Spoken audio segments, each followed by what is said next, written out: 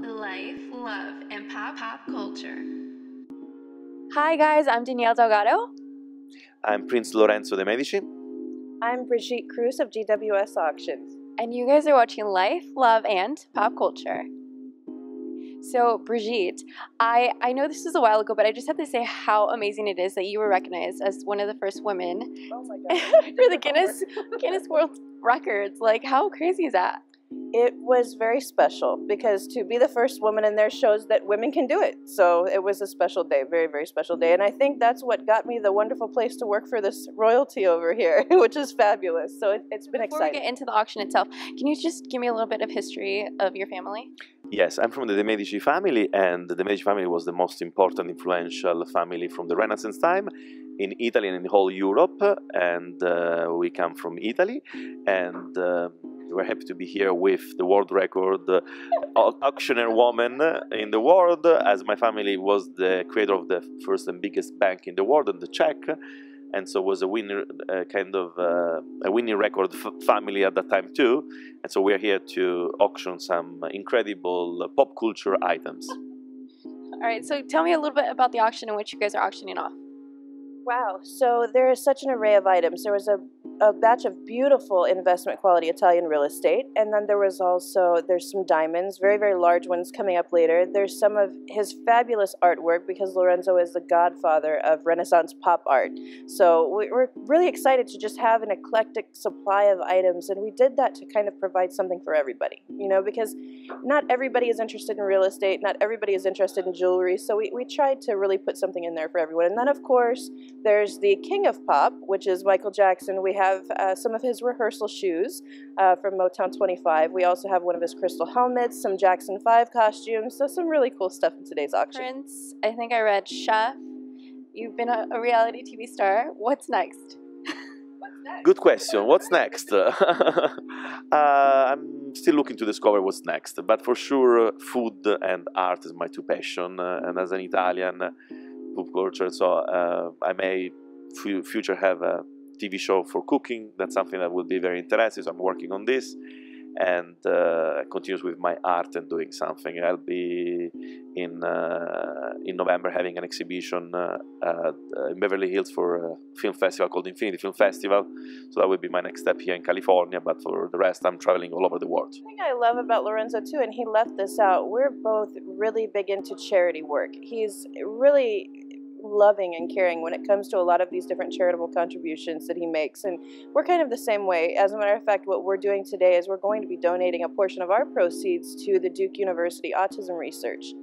Uh, it is such a wonderful thing that they're doing with these kids. And, you know, with stem cell research being so new, we really wanted to contribute a portion of today's sales to that. So, you know, we're doing a lot of good today. We're, we're trying to set new world records. That's kind of one of my secrets, but I'm trying to set another world record today. And we're also helping one of the greatest families in the world. So it's a cool day. Amazing. The philanthropy and the venture goes together, and so somehow it's beautiful that uh, uh, uh, Brigitte with the GWS is giving part to the philanthropy, and so that's very important. It's part of uh, why we work together as a Medici family. It's matched very well. That's so amazing. I love that you guys are giving back after this. Well, you have to give back to receive. You know, it's balance in life. So that's very important to us. That's interesting. In a lot of my art that you will see during the auction, uh, you will notice three different rings on the top of my paintings, and it means love, hope, and charity. Because we need love, we need hope, because if not for the tomorrow, and we need charity to give back. And that's my signature in my art. We love love here. I know. It makes me want to cry. no, don't cry. I have to ask you: Were you at the? I- Were you at the wedding?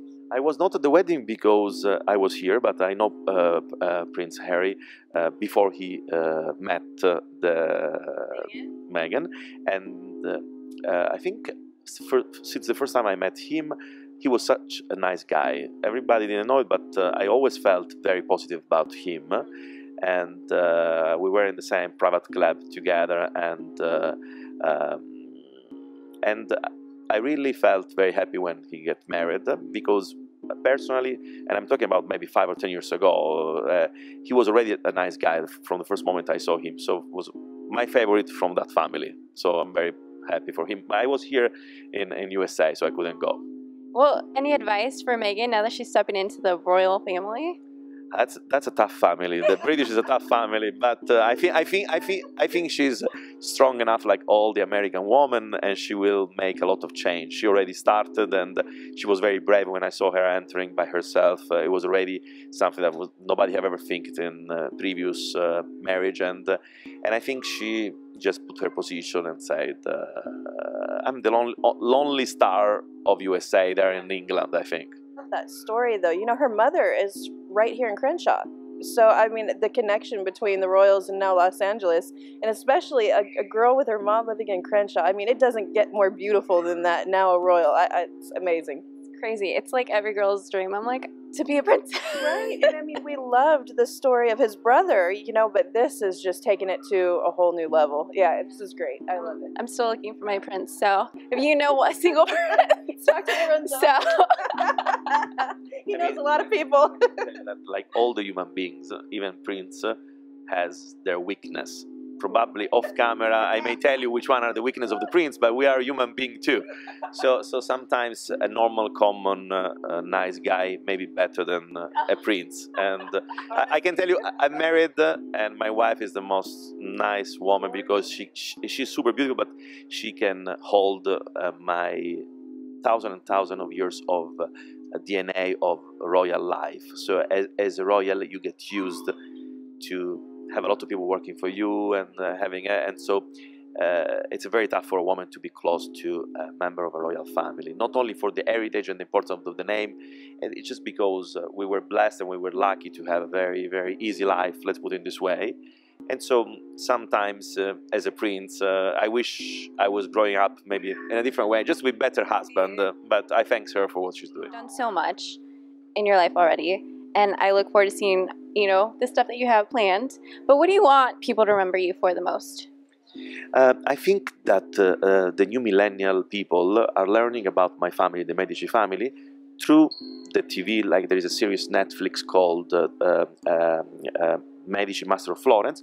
But as my art is a pop Renaissance art, they can learn my family through my art. So somehow I'm giving back to my ancestor through the modern art. So I'm a contemporary artist. I'm in a lot of collection of contemporary art. So people come to my exhibition. So the new generation have the possibilities to meet through my art my family. Thank you guys so much for watching. And don't forget to tune in next time, guys, as we discuss more life, love, and pop culture.